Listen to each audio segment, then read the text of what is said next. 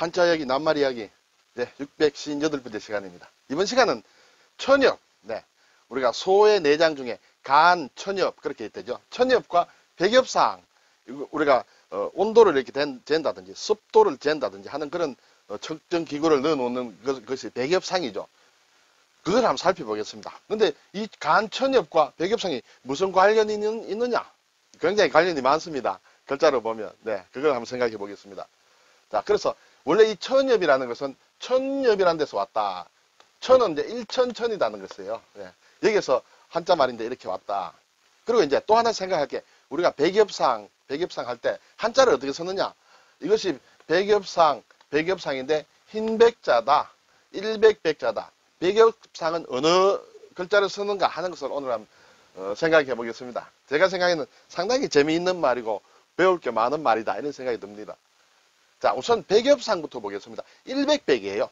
우리가 백엽상은 색깔이 전부 흰색으로 칠합니다. 그렇죠? 햇빛을 이렇게 반사한다든지 그런 것 때문에 그런데 실제로 그래서 흰백으로 생각하는 사람이 많습니다만 일백백이에요. 왜 일백백이라는 것은 뒤에서 살펴보겠습니다. 그리고 잎사귀 엽이다. 어, 상자 상이다. 아, 왜 또 잎사귀가 들어갔느냐? 그렇죠? 백엽상에.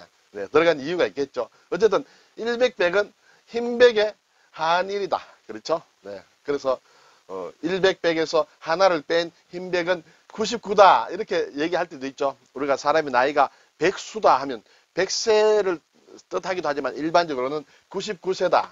100보다 하나 적다. 이렇게 되겠죠. 자, 잎사귀 엽은 어, 풀초입니다. 잎사귀이므로 식물이다. 그리고 여기는 또 잎엽입니다.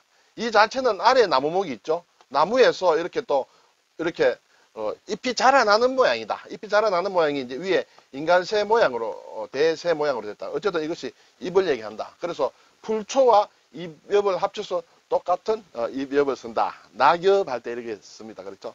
자 이제 상자 상이다. 우리가 상자다. 그것은 대죽이다. 옛날에는 대나무로 상자를 많이 이제 엮어서 이렇게 만드는 모양입니다. 그래서 대죽이다. 그리고 발음은 서로 상이다. 해서 상자다. 할 때, 어, 백엽상이다. 예, 일백백자를 쓰는 이유는 무엇이고, 이비엽이 들어가는 이유는 무엇일까? 하는 것은 뒤에서 살펴보고요. 그 다음에 이제 천엽이다. 천엽은 같은 잎사귀 잎입니다. 그리고 일천천이다. 그렇죠? 일천. 일천 개의 잎이다. 는 것은 실제로 뭐 나무 큰 나무는 잎을 다 세면 1천개 넘을 수도 있겠죠. 그렇지만 조그만 하나의 어, 가지 이런 걸 생각하면 1천개가 이렇게 겹쳐 있다는 것은 별로 없죠. 그래서 사실은 천엽이라는 것은 아주 겹쳐 있다는 그런 뜻이에요. 중복되어 있다. 상당히 과장된 그런 것이 되겠죠. 왜 이것이 이건 사람인이다. 그렇죠. 이것이 사람인이죠. 사람인 변이에요. 여기에 하나를 했다.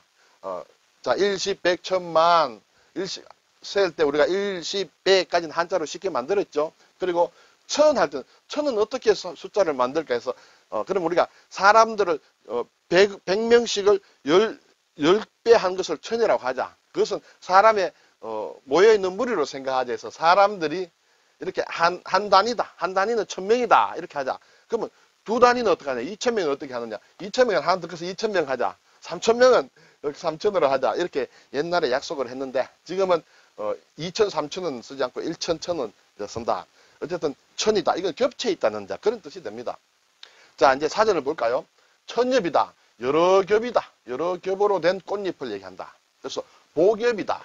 중복이 됐다는 잎이 중복이 붙어 있다.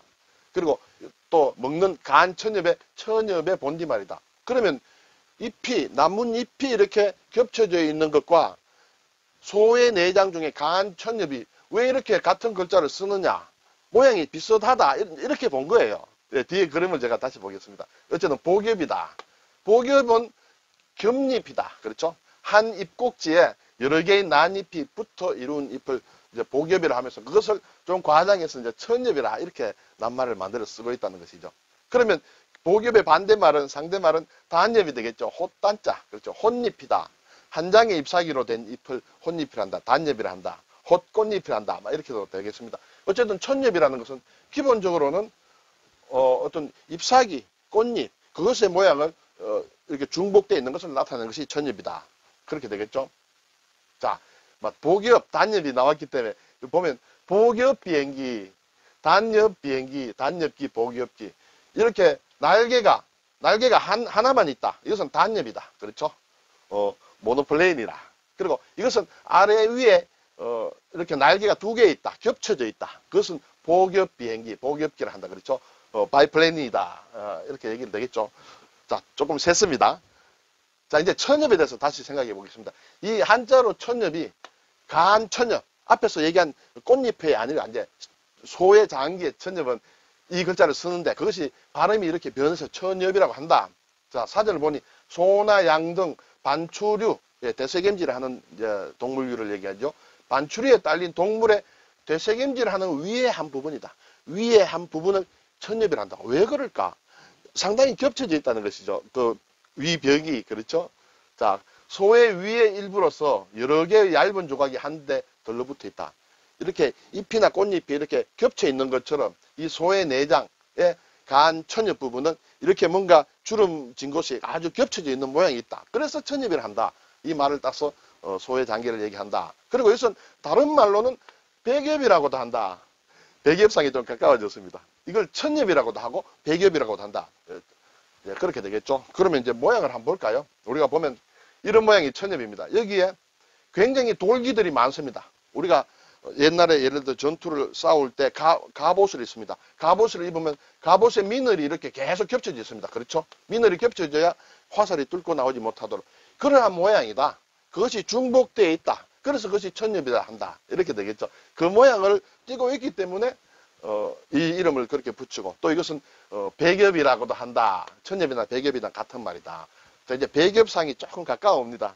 그리고 참고로 보면 우리가 일본에 지바현이 있습니다. 동, 동경의 어, 위, 저, 동쪽, 동북 쪽에 보면 지바현이 있는데 그때 천엽이라고 씁니다. 어, 천엽, 어, 지바 이렇게 어, 쓴다. 네. 자, 그리고 하나 또 비슷한 것을 따져보면 전에 한번 따져봤습니다만 백합꽃이 있습니다. 이 백합꽃이 있죠. 흰색입니다. 그럼 백합은 한자로 어떻게 쓸 것이냐? 흰, 흰 백자를 쓰면 아, 니다 하는 것이죠. 일백백이다. 이것도 천엽, 백엽과 거의 같은 그런 구조를 가지고 있다. 많은 인편, 인편은 비늘 조각이에요. 비늘. 물고기의 비늘. 비늘 조각이 모여서 구근을 이룬다. 이 백합의 뿌리는 둥근 둥근 뿌리인데 그걸 구근이라고 하는데 그것이 모양이 이렇게 비늘이 많이 모인 것처럼 이렇게 아주 겹쳐져 있다. 그래서 그것을 백합이라 한다. 이렇게 되겠죠. 자, 이것이 백합의 구근입니다. 이렇게 모양인데 이걸 뜯어보면 이렇게 됩니다.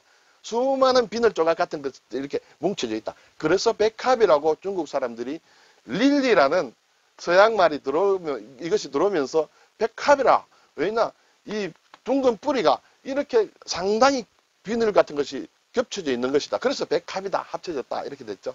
릴리는 보니 화이트를 뜻하는 샘, 셀트에서 온 말이다. 근데 우리는 그래서 이것을 가지고 여기에서는 백합은 흰색을 강조했지만 중국 사람들은 흰색을 본 것이 아니라 이 뿌리에 어떤 맺은 모양을 본 것이다. 이렇게 되고 우리나라에서는 예전부터 막 날이라고 했다. 날이 날이 개나리라든지 뭐 또 여러 가지 있죠. 나리꽃, 백합류를 나리꽃이라고 합니다. 근데 일본 이것을 일본 사람들은 백합이라고 쓰고 유리라고 읽어요. 유리.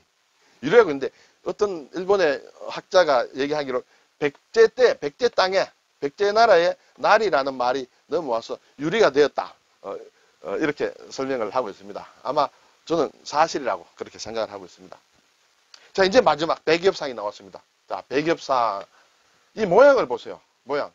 백엽상이라는 것은 사전에는 기온이나 습도나 기압 등을 재기 위하여 만든 흰색의 나무 상자. 흰색의 나무 상자지만은 흰 백자가 아니다. 왜냐하면 이 창틀의 모양이 창틀의 모양이 이렇게 계속 겹쳐 있는 것이죠.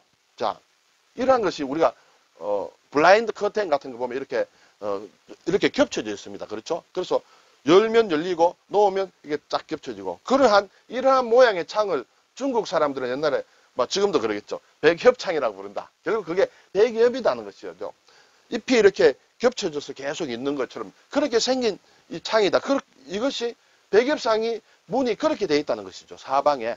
그래서 이것을 백엽상이라고 한다. 이렇게 되겠습니다. 자, 그런데 우리나라에 어, 기상대인가요? 뭐 이런 데라든지 또는 어, 린이용 학습 참고서 같은 거 보면 이것을 두고 왜 백엽상이라고 하는지 알겠습니까? 하고 흰, 색이기 때문에 백엽상입니다. 이렇게 쓰는 책도 있습니다.